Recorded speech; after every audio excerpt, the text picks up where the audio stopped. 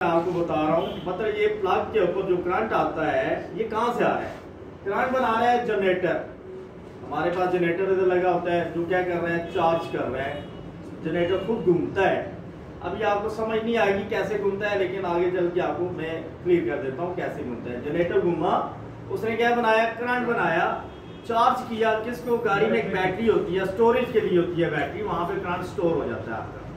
फिर बैटरी में से करंट सारी चीज़ों को जाता है, टेप टेप लगी होती है, टेप को चला जाता है, हॉर्न लगा होता है, हॉर्न को चला जाता है, लाइट्स होती हैं, लाइटों को जाता है, इंडिकेटर आप लगाते हो मतलब वायरिंग हुई होती है, सारी तरफ़ करंट जाता है, किस तरह जाता है?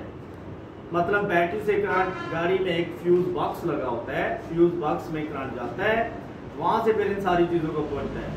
आपकी गाड़ी का हारन अगर खराब है तो आपका जहन क्या है? किधर जाएँगे सबसे पहले? फ्यूज बॉक्स में। फ्यूज में इशू होगा। अगर आप स्विच नहीं बता रही आपकी गाड़ी तो कहाँ मसला है? फ्यूज बॉक्स में फ्यूज का इशू होगा। इसी तरह मतलब जो भी बिजली से रिलेटेड कोई आपकी गाड़ी में फ़र्क आ रहा है तो आपने क्या करना है? पहले फ्यूज बॉक्स में जाके फ्यूज को देखना है। अगर आपका फ्यूज ठीक है, उसके बाद फिर आपने उस चीज़ को देखना है। मतलब हारन का, हारन नहीं बोल रहा था? तो हारन के फ्यूज के बाद आप हारन को चेक करेंगे। क्लियर होगी मेरी बात? अब यहाँ से फ्यूज बॉक्स में से करंट सारी चीज़ों को पहुँच जाता है, लेकिन एक करंट की तार जो हमारा इस बर्निंग प्रोसेस के लिए चाहिए, वो देखिए कैसे जा रही है। मतलब बैटरी में से करंट गाड़ी के साथ एक क्वाइल लगी होती है, जिसको इग्निशन क्वाइल बोलते हैं। मतलब बैटरी का करंट जो होता है 12 वोल्टेज होता है, जो आपको कुछ नहीं कहता। इग्निशन क्वाइल का काम है 12 को 24 करना। मतलब बैटरी से करंट 24 हुआ हुआ क्वाइल में पहुँचता है क्वाइल में से फिर ये देखिए, चार तारों की जगह बनी हुई है। चार साइड वाली जो तारे हैं, इनको बोलते हैं प्लग्स की लीड्स, जो क्या होती हैं, प्लग्स के साथ अटैच हुई हुई हैं।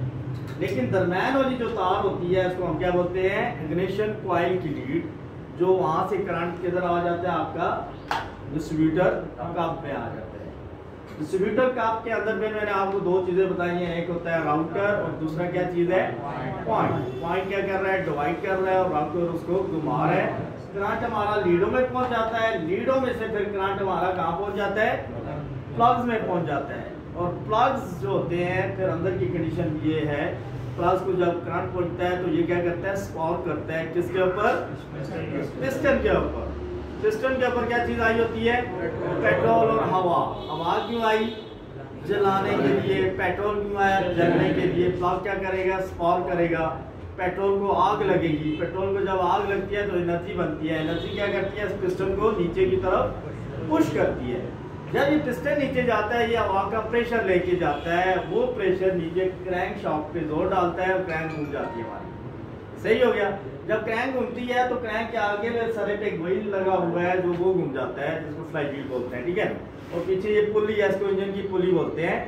यहाँ पे एक फ़ैन बेल्ट लगी होती है, जो जनरेटर की पुली और साथ में फ़ैन की पुली को घुमा देती है। मतलब जनरेटर घूमेगा तो चार्जिंग करना शुरू कर देगा। मैंने आपको बताया था ना कि जनरेटर घूमेगा, कैसे घूमे वो इस तरह घुमा, ठीक है ना? और फ़ैन घुमा तो उसने क्या किया? कूलिंग सिस्टम मतलब एयर कूलिंग है हमारी। ये पानी को ठंडा कर रहा है। जनरेटर घूमता है ये चार्ज कर रहा है और फ़ैन घूम रहा है ये क्लियर हो। गया मेरी बात? ये